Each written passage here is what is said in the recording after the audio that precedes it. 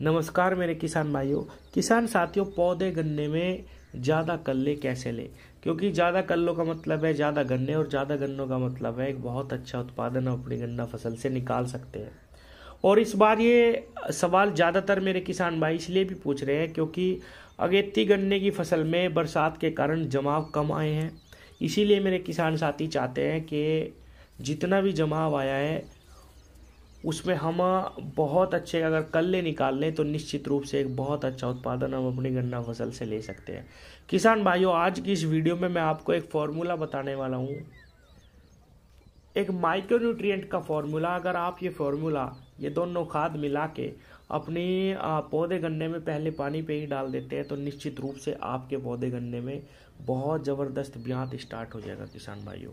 किसान साथियों, आप सब भी जानते हैं आ, हमारी किसी भी फ़सल के लिए प्रारंभिक पोषक तत्व जो है नाइट्रोजन फास्फोरस और पोटास इन पे हम विशेष रूप से ध्यान रखते हैं और इनका सभी किसान भाइयों को पता भी है।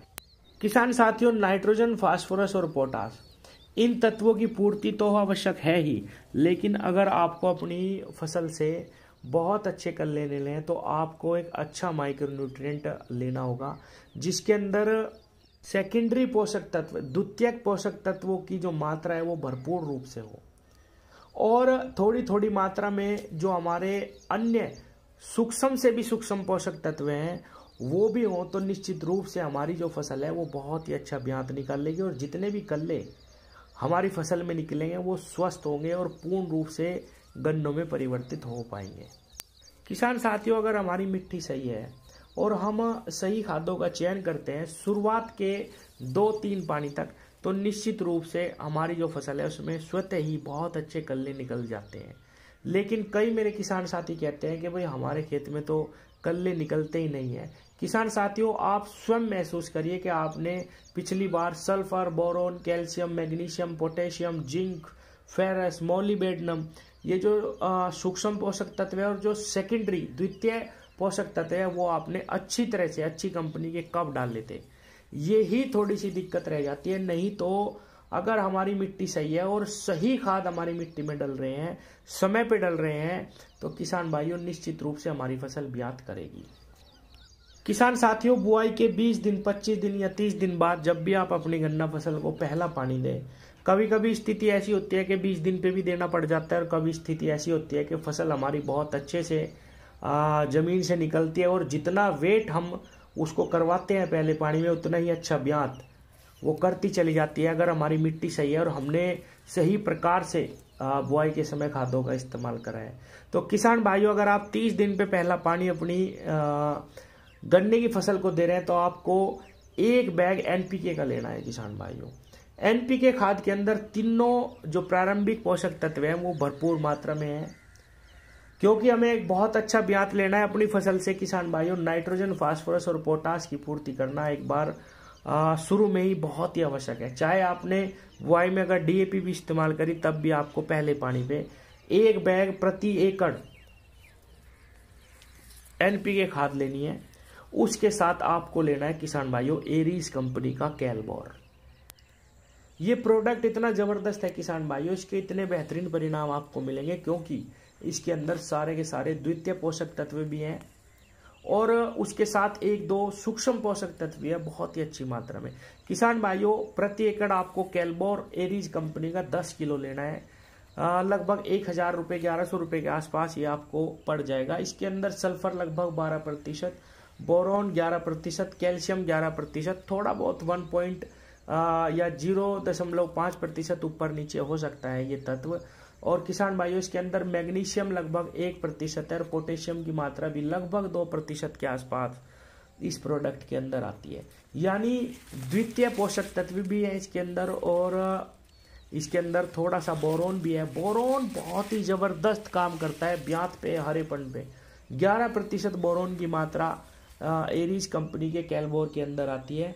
आपको इसके साथ एक सीक्रेट फॉर्मूला मैं आपको जो बताने की बात कर रहा हूँ, वो ये है कि 10 किलो ये ये प्रोडक्ट तो आपको लेना ही है एनपीके के एक बैग के साथ। इसके साथ आपको लेनी है 10 केजी सागरिका। सागरिका सब जगह मिल जाती है। इस पर मैंने विस्तार से वीडियो भी बनाई हुई है। अब सागरिका मैं क्यों मिलवा रहा हूँ, किसान भाइयों? किसान साथियों, जैसा कि इसके अंदर पाँच पोषक तत्व हैं। सल्फ़र, बोरोन, कैल्शियम, मैग्नीशियम और पोटेशियम। उसके साथ साथ इन पोषक, सूक्ष्म पोषक तत्वों के साथ साथ किसान भाइयों, अगर आप सागरिका का इस्तेमाल करेंगे दस किलो, किसान भाइयों, सागरिका के अंदर हार्मोन आ जाते हैं। यानी हम उनको पोषक तत्व तो दे ही रहे nitrogen, phosphorus, potash, sulphur, boron, calcium, magnesium, potassium, zinc molybdenum ferrous, सब कुछ दे रहे हैं किसान भाइयों। अगर हम हार्मोन भी दे दें अपनी फ़सल को, पहले ही पानी पे कौन से हार्मोन?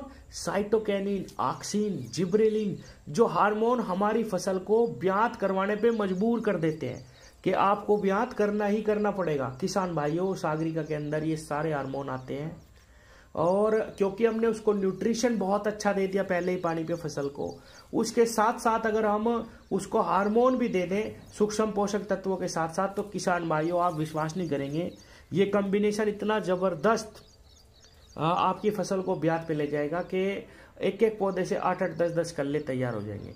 किसान भाइयों, इन दोनों प्रोडक्ट की कॉस्टिंग भी बहुत ज़्यादा नहीं है। कैल्शियम की भी पूर्ति हो जाएगी। कैल्शियम बहुत ही ज़बरदस्त काम करता है ब्यात ब्यात पे, कल्लों पे। मैंने कई सारी वीडियो में पहले भी बताया बोरोन बहुत अच्छा काम करता है। सल्फ़र बहुत अच्छा काम करता है। और किसान साथियों आ, इनकी जो कॉस्टिंग है दोनों प्रोडक्ट की लगभग एक हज़ार ग्यारह सौ रुपये का तो ये एरीज कंपनी का कैलबोर पड़ेगा। और किसान भाइयों चार सौ दस पंद्रह रुपये की दस किलो सागरी का पड़ेगी। और किसान भाइयों एक एनपीके का बैग आपको तेरह चौदह सौ रुपये में पड़ेगा। ये लगभग तीन हज़ार रुपये साढ़े तीन हज़ार रुपये में आपको बिल्कुल ज़बरदस्त रिज़ल्ट मिलने वाला है। इसके बाद आपको कोई भी खाद ब्यात के लिए या कोई भी महँगी खाद ज़्यादा डालने की आवश्यकता नहीं पड़ेगी या बार बार आपको डालने की आवश्यकता नहीं पड़ेगी। एक चीज़ और मैं आपको बता दूँ, किसान भाइयों ब्यात जब कोई फ़सल करती है, उसका एक समय होता है। यानी कि जो 30 दिन पे हम पहला पानी दे रहे हैं, उससे 60 दिन पे जो भी बच्चा हमारी फ़सल देगी, उसको हम ग्रो करके गन्नों में परिवर्तित कर पाएँगे। लेकिन 60 से 70 दिन के बाद अगर आप ब्यात की दवाई डालते हैं तो एक तो उसका लाभ नहीं मिलेगा। और अगर आप ब्यात करवा भी लेते हैं तो वे गन्ने हल्के रह जाते हैं। केवल और केवल हमारी फ़सल को हल्का करने का काम करते हैं। तो ये जो डोज है, ये संपूर्ण खाद हो गया। इसके बाहर कोई तत्व बचता ही नहीं है। इसी से ही आपकी जो गन्ने की फ़सल है, वो पूर्ण रूप से विकसित हो जाएगी। पूर्ण रूप से चलना शुरू कर देगी पूर्ण रूप से भोजन बनाना शुरू कर देगी पत्तियाँ चौड़ी हो जाएँगी और किसान भाइयों जो ब्यात है वो भी बहुत सुदृढ़ और मोटा निकलेगा। इसके बाद आपको कोई भी अन्य आ, कुछ मेरे किसान भाई कहेंगे कि भाई ये तो इतनी महँगा प्रोडक्ट आपने सारे बता दिए महँगी नहीं किसान भाइयों। पहले बुआई पे आपको बहुत अच्छी खादें देनी है और उसके बाद पहले पानी पे। उसके बाद आपको सिर्फ़ एक डोज मिट्टी चढ़ाते वक्त देनी है और आपका गन्ना इन तीन डोज में ही तैयार हो जाएगा। बीच में आपको केवल और केवल दवाई जो आप स्प्रे करेंगे, उनके साथ एनपीके मिलाते रहिए अलग अलग ग्रेड के, या आप एनपीके उन्नीस उन्नीस उन्नीस का भी इस्तेमाल करते रहेंगे।